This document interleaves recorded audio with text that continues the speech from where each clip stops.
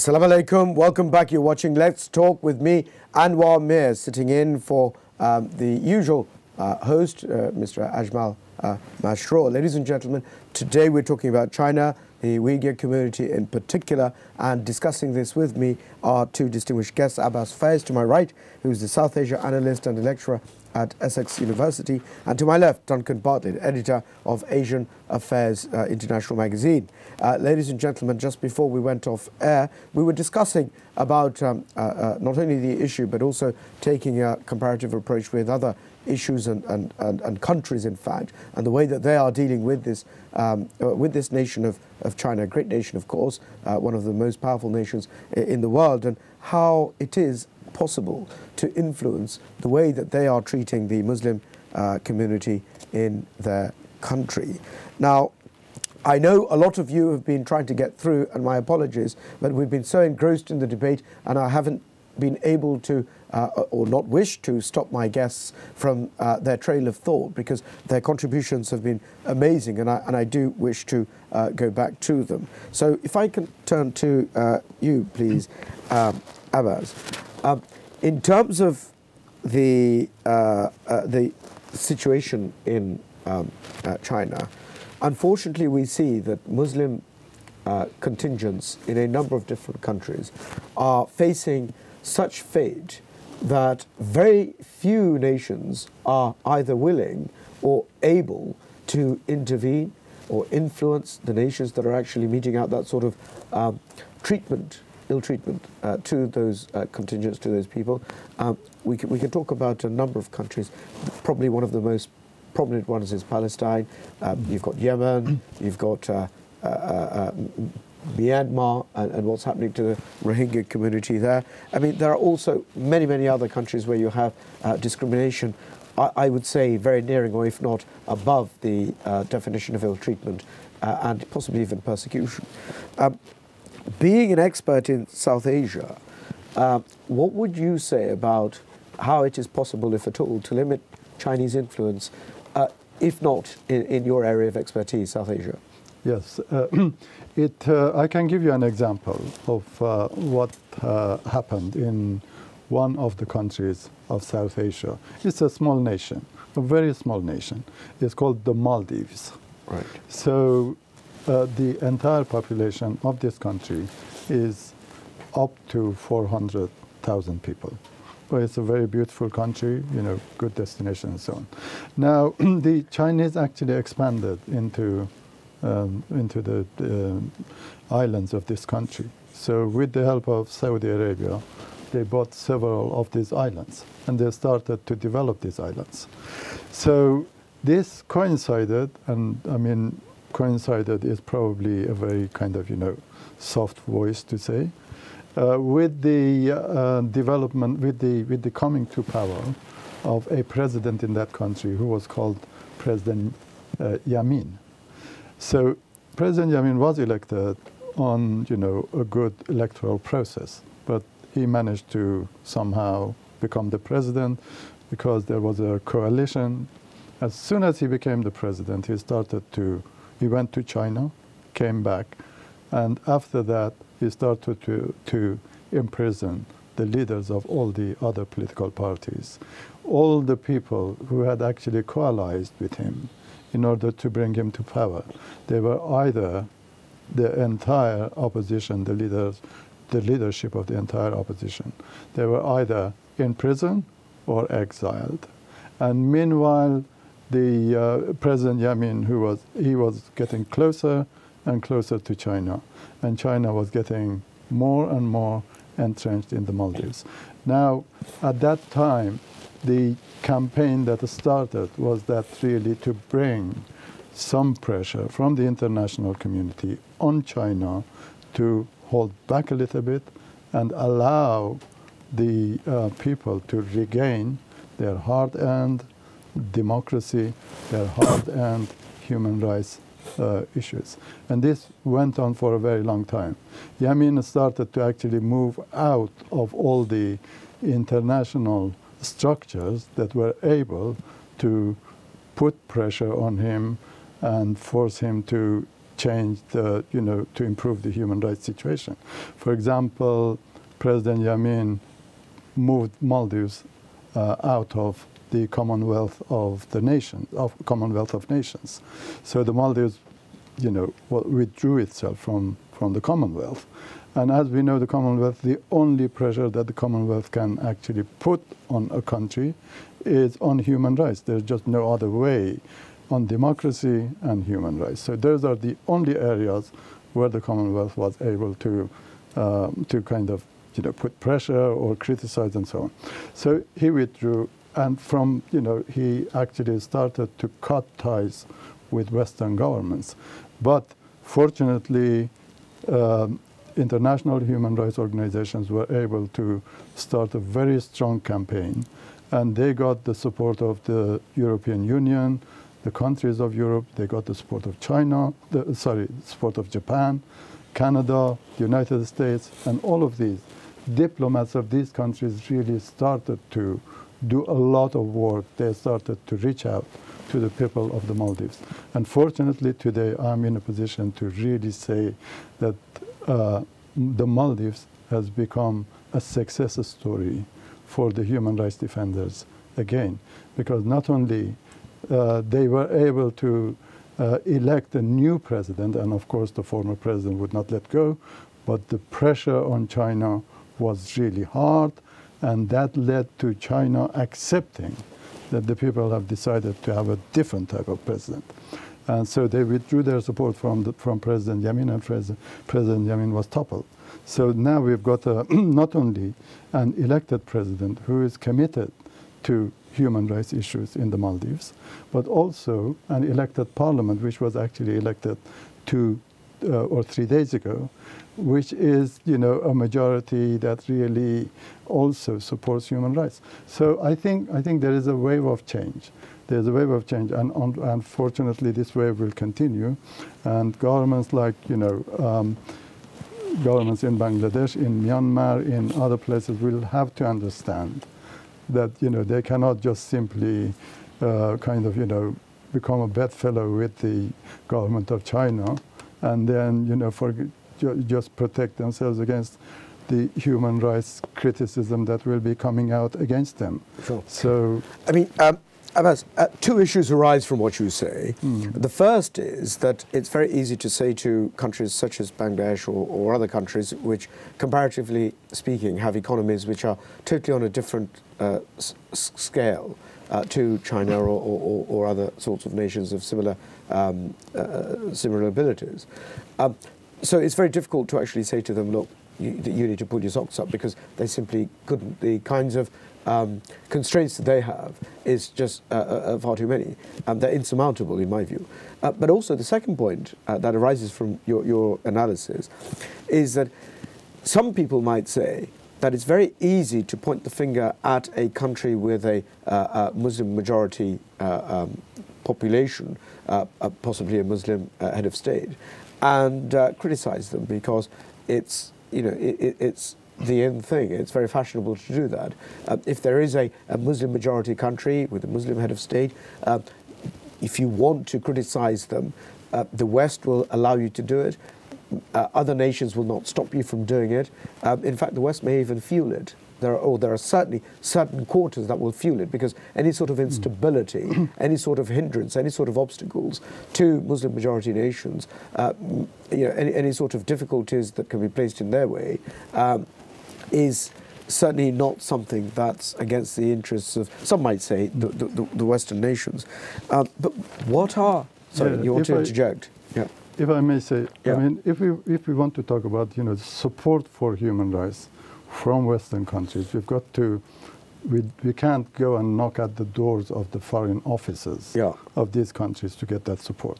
We've got to go to Geneva. We've got to go to the, you know, to Look, let me, New York. Uh, let me let me wind the clock mm. back mm. Uh, uh, some some some years. If you remember the Iran-Iraq conflict, the commentators were saying, or certainly some people in the right wing uh, uh, um, uh, uh, perspective, they were saying it's a shame that both nations cannot lose.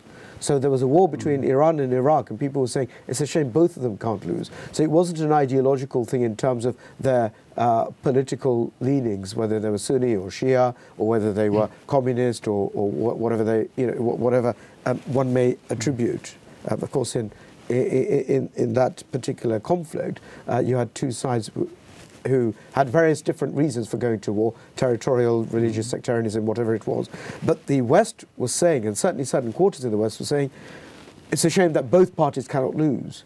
And if one reflects on that, it seems to be the case that if any Muslim nation is, is having issues, uh, very few tears are shed.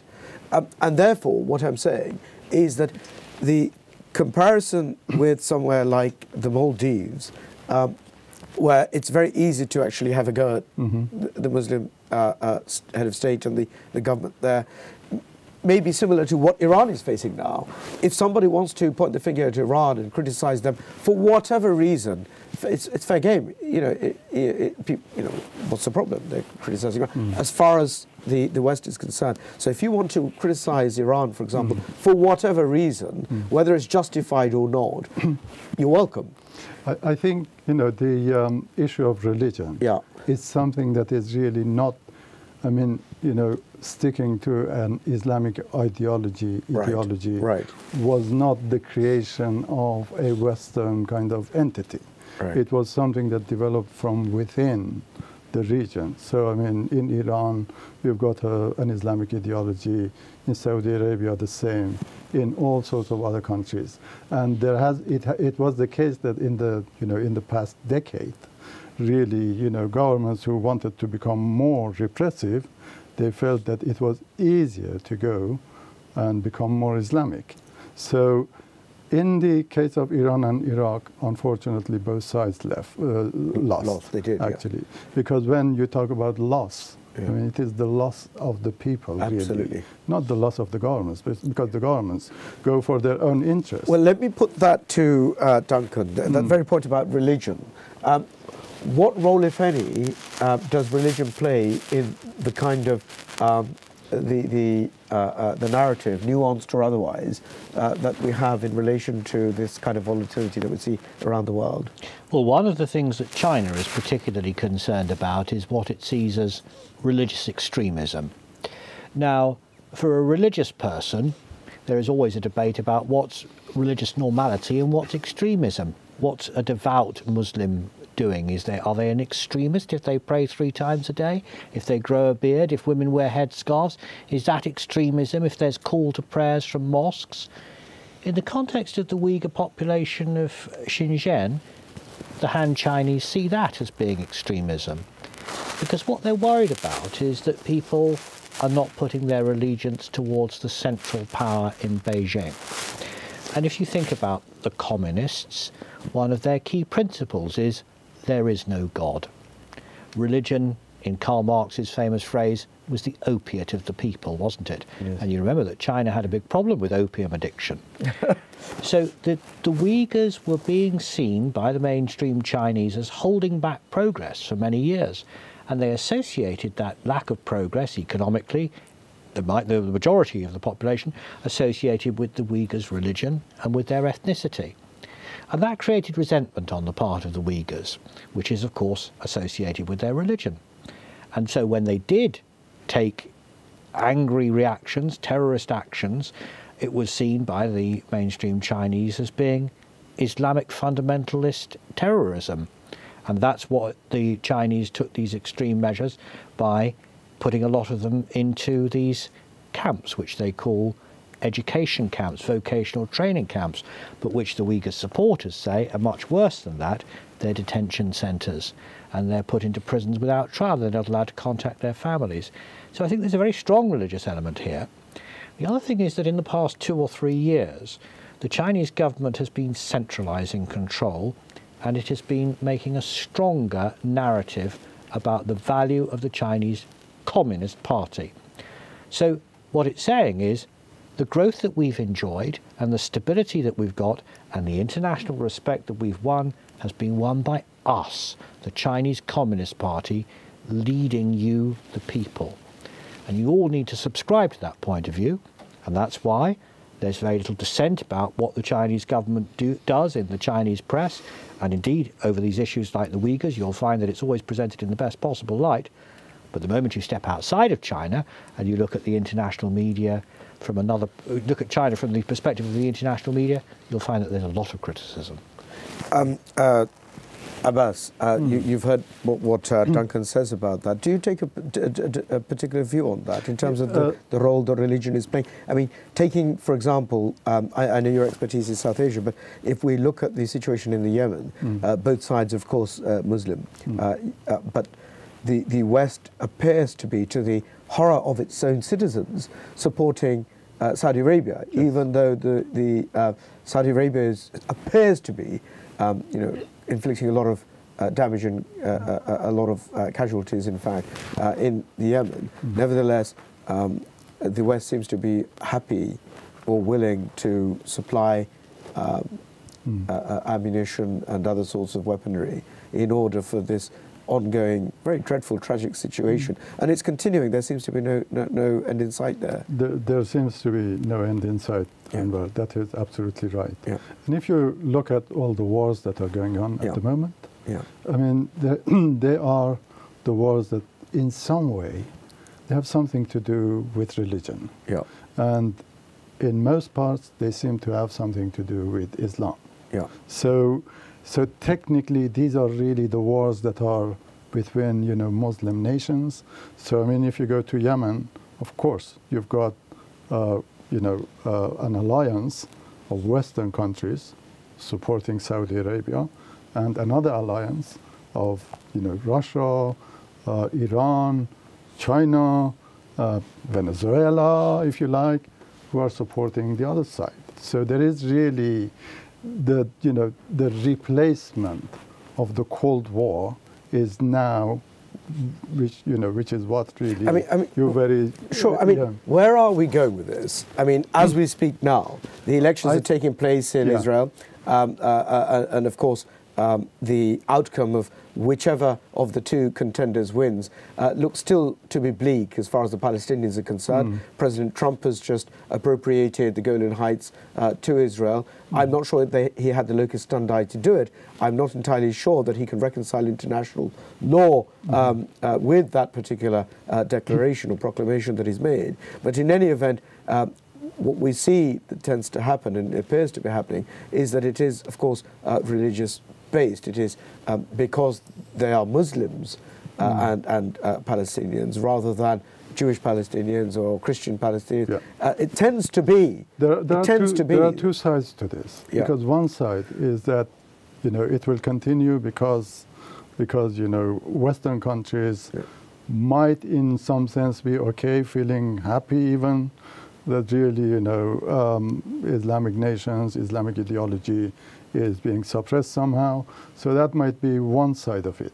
But I have a prediction, and I'm going to actually make that prediction to Go ahead. I think the uh, Muslim nations of the world are coming to the realization yeah. that, you know, kind of sticking to Islam as a government ideology is not going to work. Right. So they are going to actually take charge of their their future. I think they've taken charge of their future in a number of countries, and it will continue.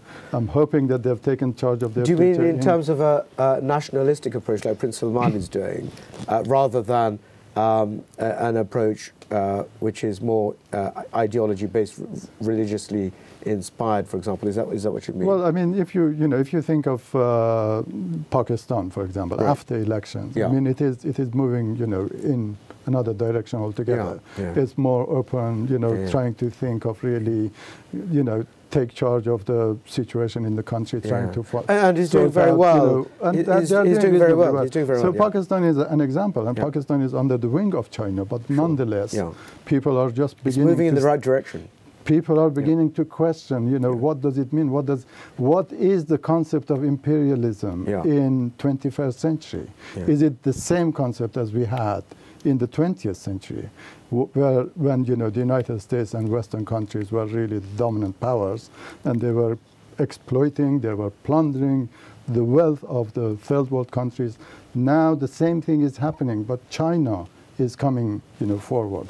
So when Duterte in Philippines says that, you know, our country is a province of China, what yeah. does it mean in terms of really the wealth of this country? Because, you know, these are the, you know, governments who are, you know, extremely corrupt. And and you know they are very happy to come to some kind of. Tell us more about this prediction because I think it's fascinating. So you're, you're, you're, are you suggesting that the nationalistic approach is far more beneficial to the individual nations? I think the people have actually. Uh, I, I, think the you know I think the Islamic ideology has burnt out. Right. Because you know even in, in, in, in, in Saudi Arabia, it's not going to work. Right. I think in Saudi Arabia, the dreadful uh, uh, kind of incident that took place in Ankara in, in sure. Turkey with you know Khashoggi. Khashoggi. I think that actually stopped some of the you know reforms that were going to take place. Right. But nonetheless, even in, in Saudi Arabia, it's not going to work. In Iran, it's not going to work. so the theocracy uh, the theocracy approach is not going to work, and it hasn't been working. It seems. Is that what, is that what you're saying? Theocracy has been working for quite some time. Right. In the past, you know, two or three decades. Sure. We've had theocratic governments. Yeah. In, in Pakistan, we had the first Islamic government in yeah. the world. In Iran, we had an Islamic government in power. So in, in in in Bangladesh, even really, there is you know some kind of, you know, acceptance of, right. for example, Hifazat Islam uh, right. by elements within you know the kind of ruling ruling ruling sure. elite. Uh, so there is this you know impression that really if you stick to Islam as an ideology, you are going to win.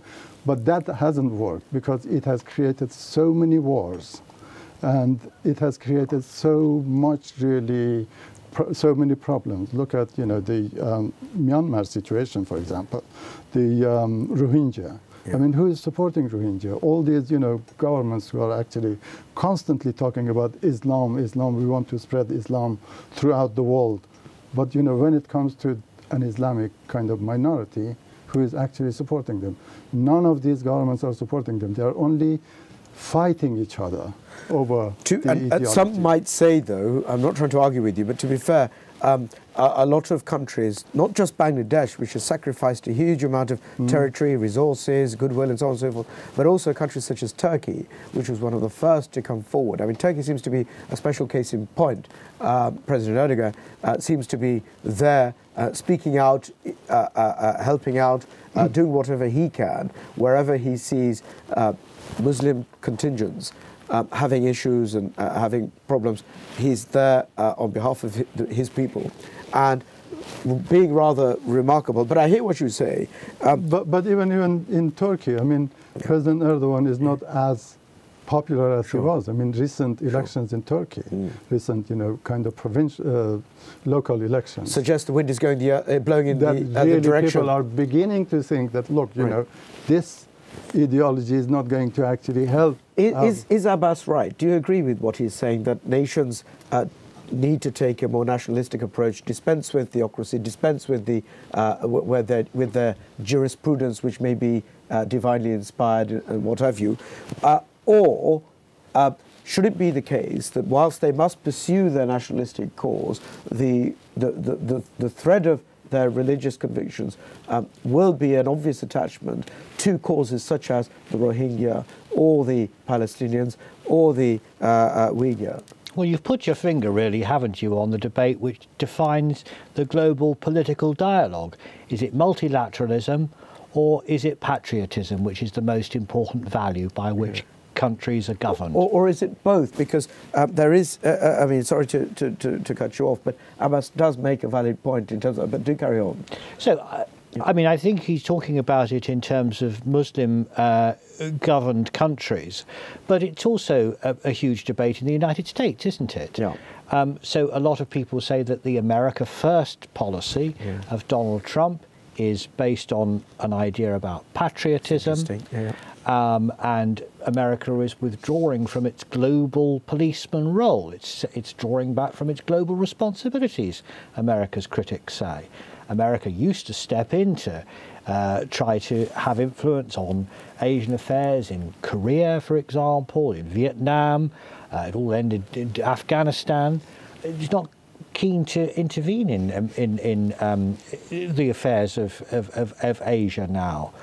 Um, China, of course, is presenting itself as being a multilateralist, not primarily a patriotic country. So, for example, Li Keqiang at the moment, the Chinese premier, is visiting Brussels, and what he's been saying to the, all the European leaders is, we have much in common. We all agree, don't we, that the United Nations is the best way in which we can go forward in terms of global governance. We need to work together in multilateral arrangements on trade, like the Belt and Road Initiative. And of course, China's critics say, well, if you agree to that kind of multilateralism, what you actually do is give China the upper hand in the partnership. It's also a debate within the different European countries, isn't it? Is it better to be part of a bloc, the EU, in which there are shared goals both in terms of economy and politics, or is it better to have more individual autonomy and sovereignty? And that, of course, is the great debate which has been uh, festering here in the United Kingdom about the Brexit. Uh, it, it is, and I was just, whilst you were talking, I was thinking uh, about the Brexit position vis a vis the, the position that we're discussing. Let me ask you this. Uh, take Bangladesh, for example, which is where my ancestry is from, um, and which our, our, viewers, viewers tend to have a, an identity with. Um, if you were the Prime Minister of Bangladesh, uh, what would be your response, if any, to what's happening in China? How would you respond? So we can just take a, a snapshot view of uh, how that would shed light on what the responses of other nations could possibly be. Well, I'm pleased to say that I've been to Bangladesh a number of times and I've met a lot of politicians. I have to say I don't aspire to be one. it looks like a pretty difficult job to be a politician in Bangladesh yeah. from my observations as an outsider. Yeah. I actually admire anybody who goes into politics. I don't think it's an easy thing to do. But I mean, what we were talking about earlier was the enormous gulf economically between a country like Bangladesh yeah. and a country like China. It is you know, it's a mouse and an elephant, isn't yeah, it? Uh, and of course, China has seen this incredible economic growth. Yes, Bangladesh has had good economic growth for the past three or four years, but from a pretty low base. China, millions of people have been lifted out of poverty.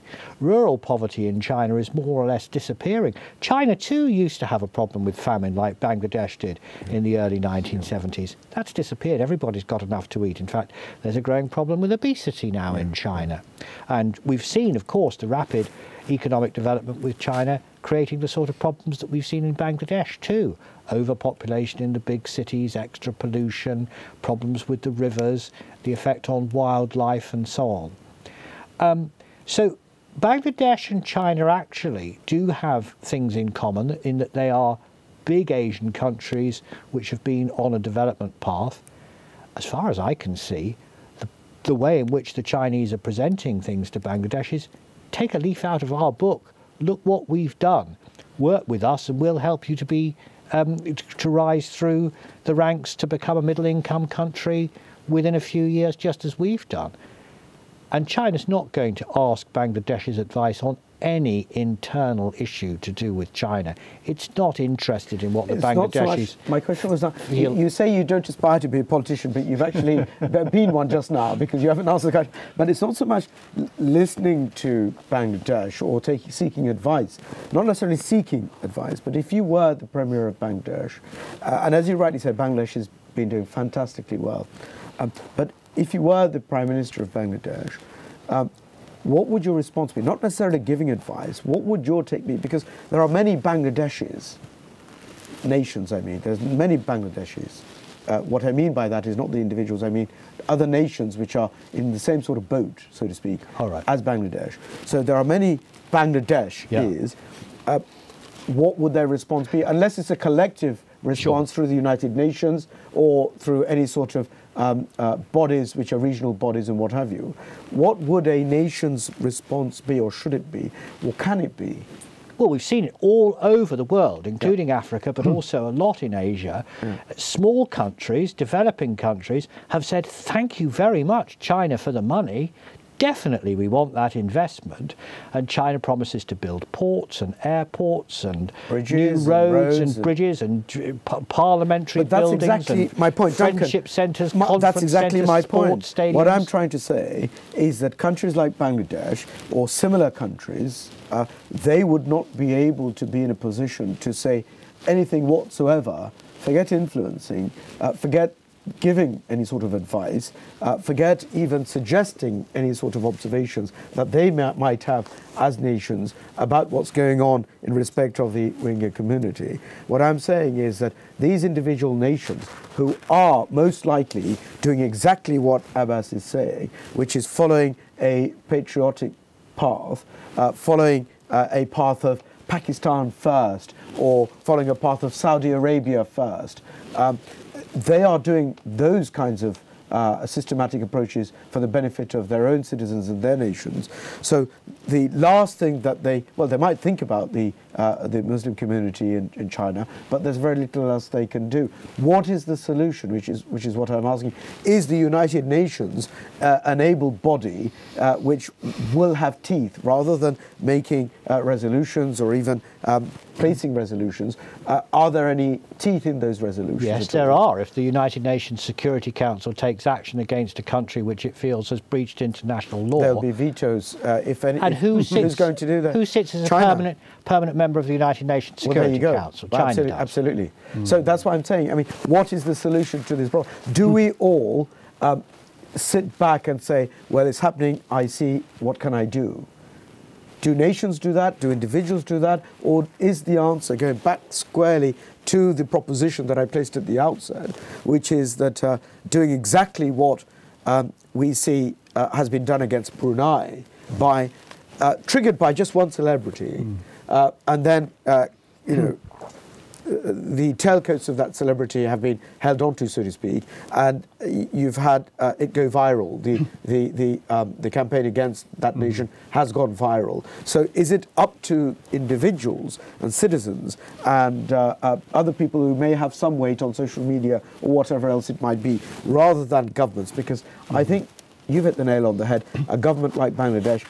Or, or any other government similar to Bangladesh wouldn't uh, be able to do anything America could possibly be the only nation mm. who can speak up against China, but the last thing they are likely to do is speak up for Muslims in China uh, uh, uh, uh if that makes sense. But I think you may, well, you may well find political committees in Congress yeah. who are critical of China's human rights record, and I don't think they, they would separate it as being an issue that would be, oh, we won't criticise China over human rights because they're Muslims. I think you would find that. Certainly, I've been to meetings in the House but, of Commons in the last few weeks here in London, at which there have been human rights campaigners who have been actively lobbying MPs to say, be careful what you do with the Chinese because this is their human rights record. Now, the thing is, though, that there's only so much influence any individual MP out of the 600 in the House of Commons can have on the government's policy. Yeah. And what I think will happen very soon is that the British Finance Minister, the Chancellor Philip Hammond, will go to China, yeah. and I think he will subscribe to China's Belt and Road Initiative, which is the big international investment project which China is leading. And I think he'll say well, that's in Britain's best it, economic it, it, interest. But of course, there will be people within the government and critics who will say, that's a mistake because mm. if hmm. you do that with China, you will be effectively endorsing their domestic policies in terms of. But does not parliamentary democracy and the way the political system in the United Kingdom works and the way the political institutions in the United Kingdom work uh, uh, uh, remain in stark contrast to the way Congress works, where um, mm. people in Congress and teams in Congress may have their own ulterior motives or, or, maybe overt motives as to why it is that they need to criticize or want to criticize China, um, and they may bolt on what's happening to the Muslim contingent uh, onto their effective campaign against China and, and, and, and, what they want to do there. But it may be a different kettle of fish. I just want to, I think you wanted yeah, to come I think, in. I think it is very important to, uh, to take notice of what I, you know, I would like to actually mention just now. Sure. Um, that uh, the closeness to China in South Asia, at least, where you know I know a little bit more about, you know, than other parts of the world, uh, has been has not been an easy thing because the governments have got closer to China. For example, the government in Sri Lanka, Rajapaksa, he got very, very close to China. And, and China actually lent a lot of money to, uh, the, to, to um, Sri Lanka. And Sri Lankan government is not a uh, is not a Muslim government, sure. so it is a Buddhist government. Yeah. So, but there was an international kind of, you know, uh, coalition of interest and pressure on focused on Sri Lanka that actually brought about an election in the country, and we've got a different type of government in power. And that government, the first thing that they did, they wanted to show that they are actually abiding by the wishes of the people by saying that we don't want China in our country. Abbas Faiz, only for time reasons, I am going to have to stop you there. Um, Duncan Bartlett, it's been an absolute privilege. Ladies and gentlemen, these two special guests are very distinguished and they're very, very busy, and we're absolutely uh, grateful to them for being able to share their thoughts and insights uh, with us and yourself, our respective uh, Channel S viewers throughout the length and breadth, not only of the UK, but throughout the world. Of course, we are online. Ladies and gentlemen, thank you very much for watching. Um, next week, uh, on the next occasion with Let's Talk, hopefully our regular um, host, uh, Mr. Ajmal Masroor, will be back. But this was me sitting in for Ajmal Masroor, Mr. Anwar Mir, and uh, do uh, keep us all in your prayers. Thank you very much indeed for watching once again. Assalamu alaikum.